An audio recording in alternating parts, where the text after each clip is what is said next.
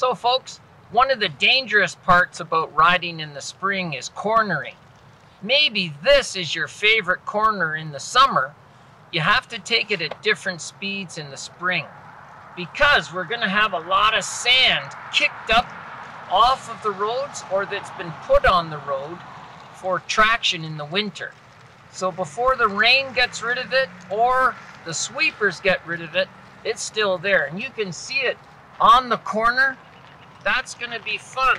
If you're really going fast and leaned over, you could very easily lose the front end of your motorcycle.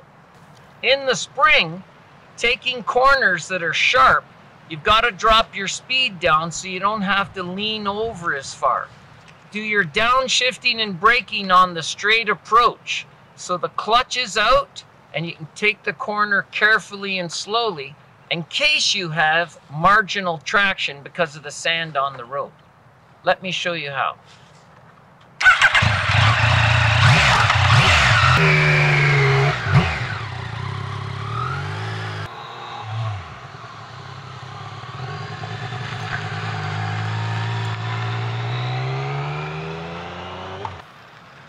So that one I did it properly. Now I'm going to go too fast and uh, illustrate where you might have to get on the brakes and the, the bike could slide out under throttle or brakes.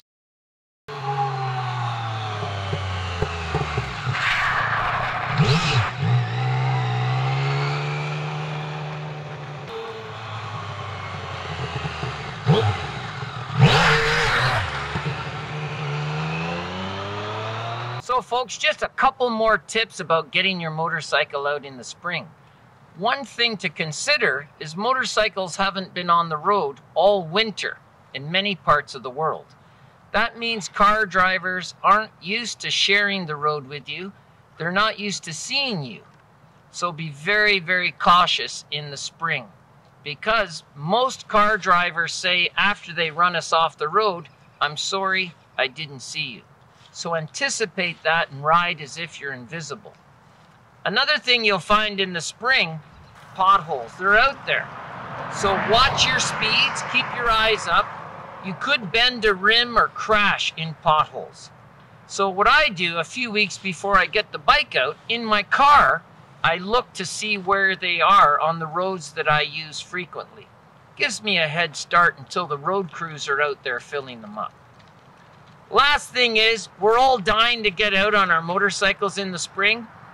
The police haven't seen us. So when your first bike is out there, you're going to stand out more. That spring fever and enthusiasm for the throttle is going to stand out a little more in April and May than it does July and August. So watch your speeds and the throttle position in the spring. That's it. I'm Clinton Smout from Smart Riding Adventures.